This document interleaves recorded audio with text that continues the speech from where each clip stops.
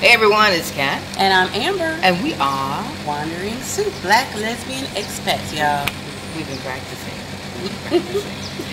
so today we come to you from the inside of our apartment, but outside a little bit. We are on the balcony a little bit, a little bit. And we thought we'd just do a quick video to tell you of things that we were thinking about, which was five mistakes we made when we moved to Southeast Asia. Five Eh, there's more. We're gonna limit it to five. If you want more, we'll give you more. That's okay. We're gonna keep ourselves happy and lifted with only five. Five. So, number one. What was our number one? Housing. Big one. Yeah. It's the reason why it's number one for us. Yeah, because it's important. We, we like to be comfortable. We're, you know, creatures of comfort. With both Tauruses. Yes. So, and you have to pay for that no matter where you are in the world. So you really have to think about that before you move so that you're setting, you're putting aside or you're allocating money, real accurate amount of money mm-hmm. for your housing. Right. So we came over, um, we first went to Singapore, we stayed there for like a week. Very expensive then from there, we went to Malaysia for another three, or four days. Not as expensive, but again, transportation to the uh, housing, things like that. Ugh, it's a hassle. Then we got to Cambodia, and we had housing there for about two and a half weeks. We thought we could find us an apartment. We couldn't. So, because we there was um, the market looked one way online, and it was actually reality a different way. So you have to allocate more money to uh, short-term housing, right. if you will. Um, you definitely don't want to rent an apartment sight unseen or a home sight unseen because you're not even sure you're going to like the house. There's always going to be quirks that just may not be the quirks that you can deal with, and you don't know the neighborhood. No matter how many times you look at it in Google and you talk to people in uh, other expat groups and they say, oh, this neighborhood is the best neighborhood that doesn't mean it's the best neighborhood for you right. and your family, right? So you want to budget for short-term housing, Airbnb, hotels, VRBO, anything like that. But you want to have a good padding for that, right? Don't shortchange yourself. Only do a week and then rush to get into an apartment that you're stuck in for the next six months to a year because they are very, very hard on contracts. Once you sign a contract, you in it to win it. Right. Ain't no getting no money back. None of that. You ain't Just because you changed your mind. Right. That's not gonna happen. So. Not unless you, you know, what you thought was gonna be a beautiful house and it was a mud or something like that. That's because you you ready to say See, it's an experience. All right, number 2 mm-hmm. But it's money. Money, money, money. Money's always it's always there. So when you're traveling and you're just you're gonna move and you're you're leaving it all and you're going overseas, it's easy to fall for the trap of, you know, the, oh, you can live for this here or you can live for that there. And like believing all the things that people say in the videos. Right. And some of it's true, and it can be true for some people. Right. But you have to make sure it's true for you. Right. Um, and to be on the safe side, because it may not be true for you, you do want to have the money that you're going to need for actual for actual travel. Right. So what you want to do, I recommend if you think you need a budget of say twenty five hundred or four thousand, double it if you can, triple it if you can, because you're gonna spend more money on stupid shit than you ever thought possible.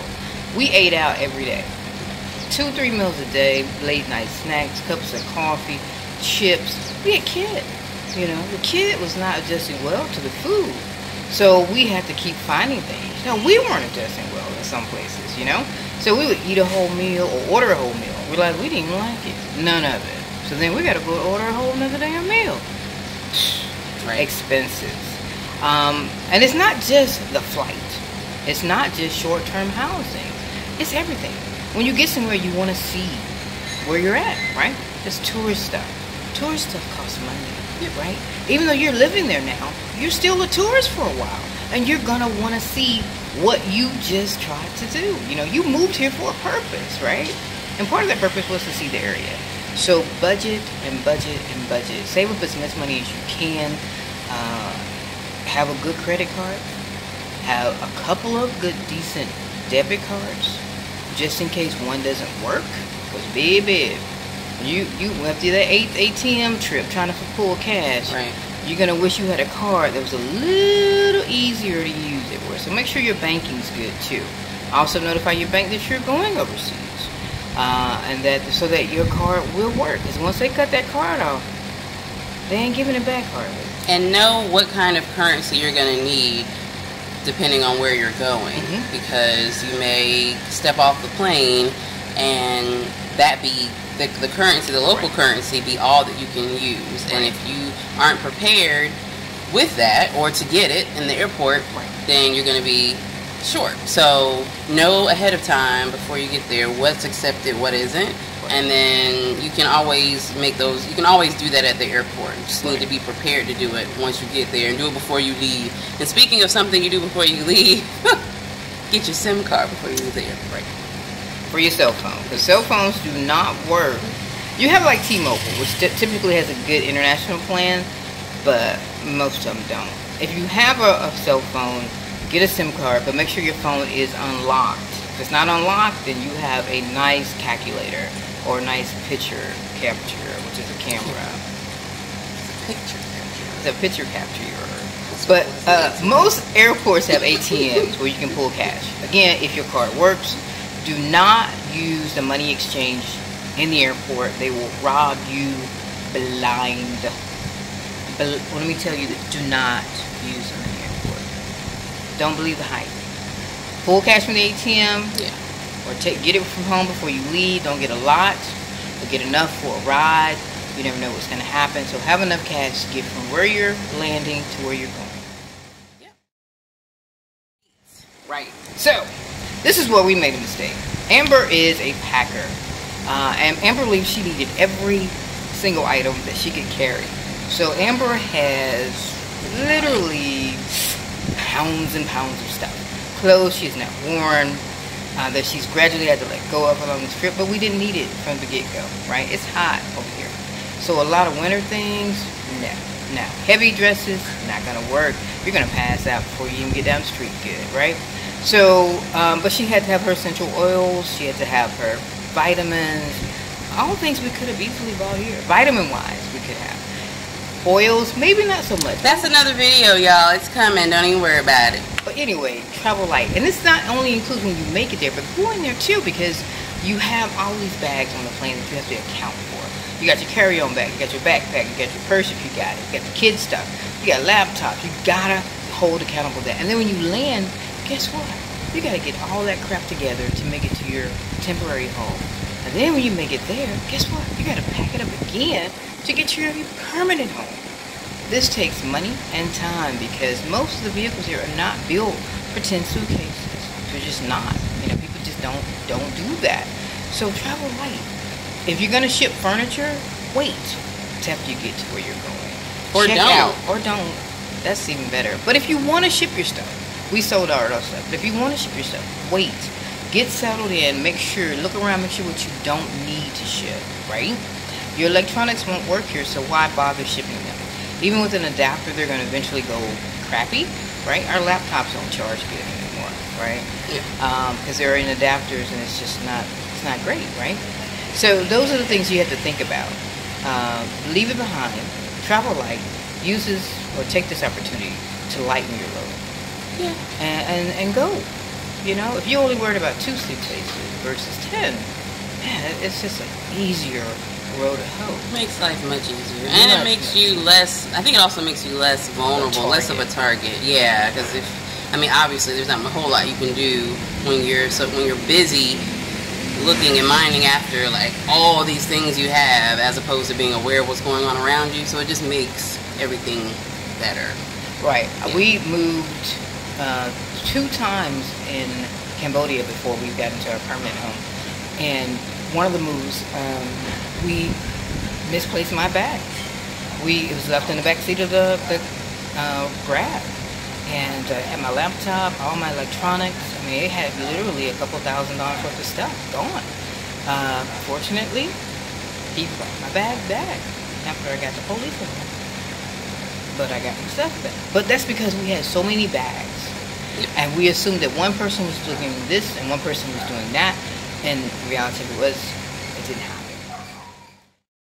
Where you're going. Yep.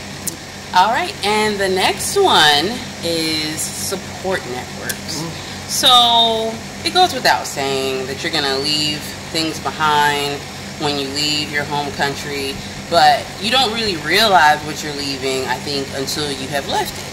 You don't even think that you have a support network until you don't have one. And so you need to just think ahead about that because if you do, if you have depended on things like um, childcare when you need it, or someone to watch your dog or your cat, or whatever the case may be, someone to watch your stuff while you go somewhere for the day, or if you have to leave the area, just you know, all of a sudden, and you want to make sure your stuff is safe. Like, you know, usually you think there's somebody you probably can trust to do that, but once you have left the country, you're in a whole different situation, and so you need to think about that before you leave, so that you can set yourself up for some kind of some kind of success at least.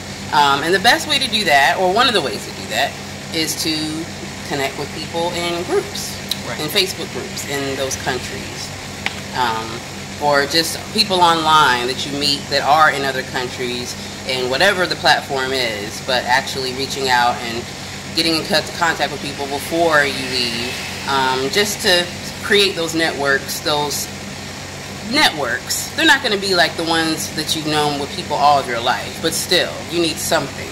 Right, right. So uh, Amber does that for us. I just, I am the recipient of her uh, networking for us. Occasionally, I pull through, and generally, what happens is if she can't find someone to connect us, I'll end up finding someone to connect us to get something done. But we have been very, very fortunate in that everywhere we go, we meet up with someone, connect someone who gives us the insider tips on something. And it may be something we saw in a Facebook group. It may be um, just random on the street person who happened to give us a ride here. We talked to the Grab guy. He said X, Y, and Z. Uh, our tuk tuk driver in Cambodia was excellent. Uh, we ended up um, so you know forming a connection with him so much that we went to his wedding. So it's those type of things that you gotta recognize that you're gonna have to replace and that they you know work on doing that because we're so used to family and friends you won't have those unless you bring family and friends with you. But even then, they're moving with you. They don't know nothing. Yeah. And that's yeah. number three. number four. the last thing is unrealistic expectations. I mean, you know, yeah. definitely, you know, definitely jump when you're ready to jump. Like, right. don't let anything stop you. That's with life in general, not right. just moving overseas. But, you know, at the same time, be realistic in what you're doing. Like realize that this is not the panacea for all of your ills or the world's. Right. And there's gonna be stumbling blocks, and there's you're gonna come across things you don't like when you get there. But just right. set yourself up for that. Just be like, you know what, this is a new experience. That's the point.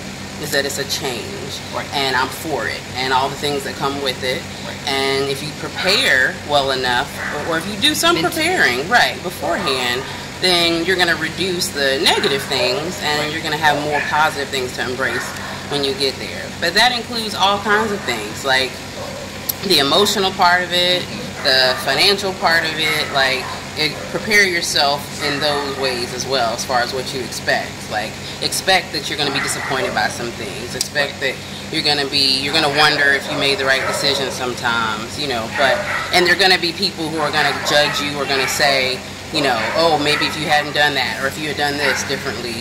But that's with anything in life. So don't let it stop you. Just keep it moving, be prepared, and keep pushing. It's going to take work.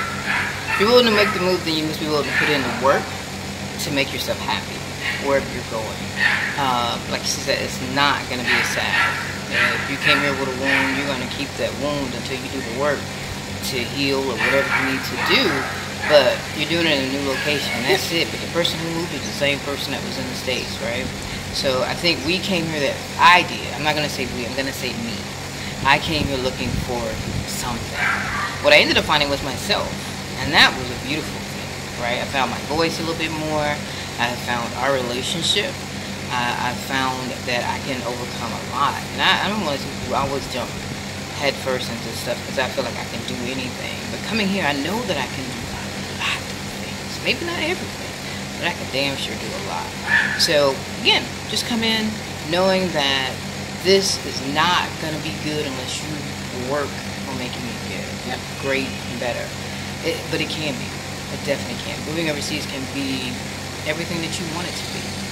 And a lot of things you didn't know you wanted it to be. And a lot of things you still don't want it to be, but it can be done.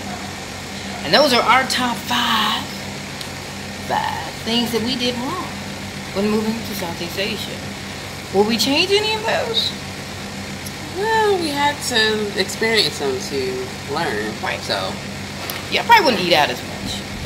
Right. Yeah, and I probably would uh, be more realistic in our temporary housing. I probably would give up a few things to save a few bucks, because um, I don't know. I didn't have to live as well in some of the temporary housing. I know Amber didn't think I do. Well, or we would have just chosen better. Because I don't know that we necessarily lived well all the time in the sense that we had everything we needed. Right. We just, yeah. it looked good on the picture. Yeah, things like a pool. We could, we could have We didn't need a. We didn't. Need a pool. We yeah. It was cute though. I got it in like a couple times. Yeah. But yeah, yeah. So that, that's about it for me. Yeah. Yep. Thank you guys. Let us know what else you want to know about if we have any more things that we are wondering about the move or whatever. Whatever questions you have, let us know. subscribe, like, share, follow, all those things. Comment below. We definitely want to talk to you. You got any questions, let us know. I'm Kat, I'm Amber. and we are Wandering Soup. Peace and love, y'all. See ya.